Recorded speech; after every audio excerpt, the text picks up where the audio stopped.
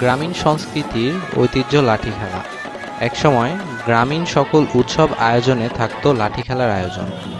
গোল হয়ে সবাই উপভোগ করতেন এই লাঠি খেলা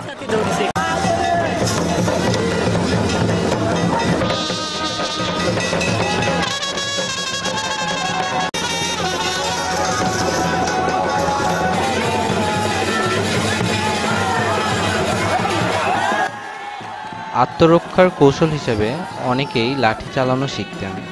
কালের বিবর্তনে লাঠি খেলা হারিয়ে যাচ্ছে।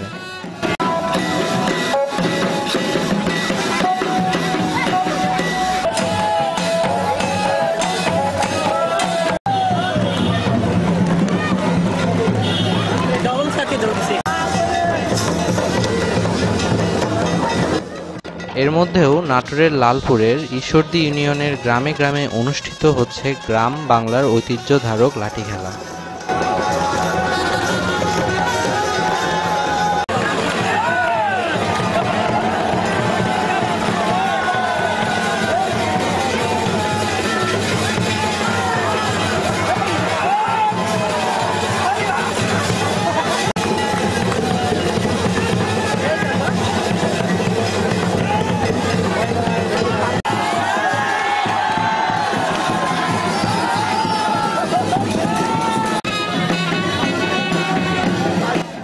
সোমবার বিকালে নাটোরের লালপুরের পালিদ সরকারি প্রাথমিক বিদ্যালয় মাঠে এই খেলার আয়োজন করেন ইউপি চেয়ারম্যান আমিনুল ইসলাম জয়।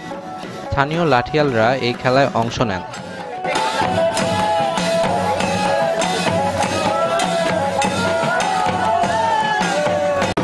ঢোল আর বাদ্যের তালে লাঠিয়ালরা পুরো সময় দর্শকদের মাতিয়ে রাখেন।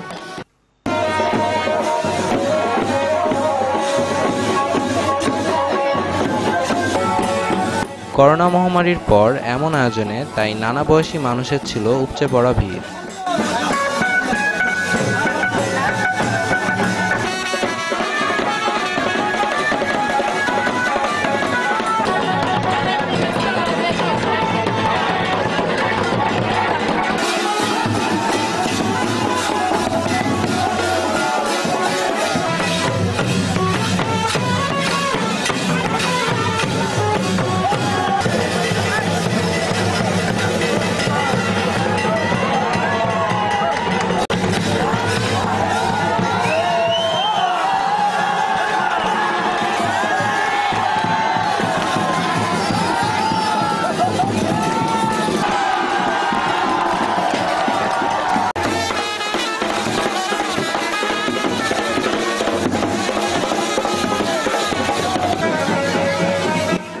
শিশু, কিশোর, নারী ও প্রবীণরাও মেতে ওঠেন এমন আনন্দে। আয়োজকদের দাবি, ঐতিহ্য ধরে রাখতে তার ইউনিয়নে বিভিন্ন স্থানে তিনি এমন আয়োজন অব্যাহত রাখবেন।